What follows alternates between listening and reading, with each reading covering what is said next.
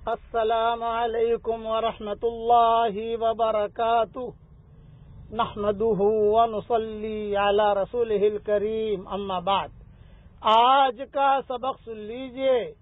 आज के सबक की सुर्खी है, औलाद के साथ हसन सलूक कीजिए। Part number two. अब एक किस्सा सुनाता हूँ, हज़रत बरीरा का और हज़रत मुगैस का। आजकल माँ बाप जो जिद करते हैं ना बच्चियों के साथ यही निकाह करना पड़ेगा। बोलना मत जवाब देना मत लड़कों को भी कहते हैं बस ये जो यही तुझे निकाह करना पड़ेगा। बिल्कुल बोलना मत हमने जो फैसला कर दिया वो ना कह रही भाई मुझे नहीं करना वहाँ। मेरा दिल नहीं जल, चलता वहाँ। मैं मुझे वहाँ मंजूर नहीं है। तो माँ बाप जिद करते हैं। हमेशा याद रखना अपनी औलाद के साथ अच्छा सलूक कीजिए। उन पर जिद न कीजिए, बेजा जिद।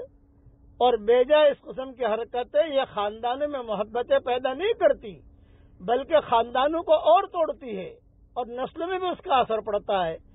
इसलिए माँ बाप के लिए खास तौर से किस्सा सुना रहा हूँ। हज़रत बरीरा, ये हज़रत आयशा की बांदी थी। हज़रत मुगीज एक सहाबी थे। किस्सा इनका बहुत लंबा आता है बुखारी में, मुस्लिम में मुस्ंद अहमद में। मैं मुख्तसर समझा दूँ आपको। हज़रत मुगीज निकाह करना चाहते थे और जो है सारे के सारे मदीना के दरवाजे खटखटा दिए इन्होंने। अरे भाई बरीरा से मेरा निकाह करा दो। ये जो है, ये हज़रत आयशा की तरबियत में रही हुई। खूबसूरत खूबसूरत और हज़रत आयशा ने इनकी तरबियत की। और हुजूर अकरम सल्लल्लाहु अलैहि वसल्लम की तरबियत में रही हुई। कितना करीबी मामला है, देखो। हज़रत बरीरा का और हुजूर का, हज़रत बरीरा का हज़रत आयशा का, बिल्कुल घर, घरेलू जैसा मामला। और सलीका वाली थी। जब हज़रत मुगीज ने सबके दरवाजे खटखटाए तो लोग जो है देखते भी थे कि बेचारा जी जान से आशिक है, जी जान से चाहता है बरीरा के साथ निकाह करने का। बरीरा को लोग कहते थे तो बरीरा कहती थी, नहीं नहीं। बड़ी सिफारिशें की। हर वक्त उसने जवाब दे दिया, नहीं। यहाँ तक का मामला हुजूर सल्लल्लाहु के पास पहुँचा। अब हजूर से बड़ा कौन होगा? आज के माँ बाप हजूर से तो बड़े तो है नहीं। हजूर सल्लल्लाहु ने खुद ने सिफारिश की। बरीरा मुगिस को निभा लो, उसके साथ कर लो। तब बरीरा ने शर्मीली आँखों से और नीचे निगाह करके कहा, आहा बरीरा और सोचो तो बरीरा कह रही है, आहा, ये आहा, मैं आपको समझाने के लिए कह रहा हूँ।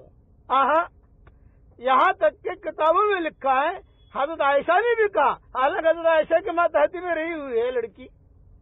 एक ही जवाब, आहा आहा, नहीं नहीं। हुजूर की बात अच्छा जब बार बार हुजूर सल्लम थोड़ा सा कहते रहे कि, बरेरा, देख लो अच्छा आदमी है, ये है, वो है। तो हज़रत बरीरा ने जवाब दिया। वो जवाब सुनो। इसलिए मेरा ये मजमून याद रखना, औलाद के साथ अच्छा सलूक कीजिए, उन पर बोझ न बनिए।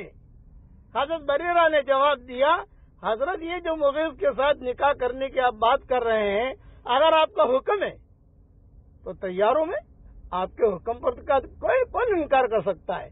अगर आपकी राय है तो मुझे, मैं नहीं करूँगी। तो मेरा निभा इनके साथ नहीं होगा। इनमें ये है ये है ये है। वो बातें जो है बताई कि इनमें ये है, ये।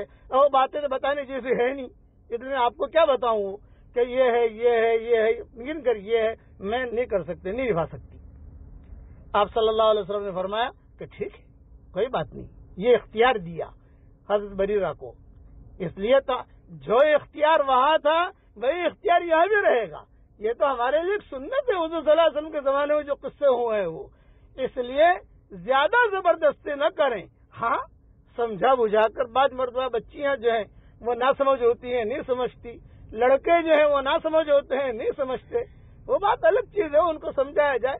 यानी मतलब कि मोहब्बतों से काम लिया जाए, दादागिरी से नहीं, चालाकियों से नहीं, डंडे से नहीं और ये एक किस, एक किस्सा आदत बरीरा का नहीं है।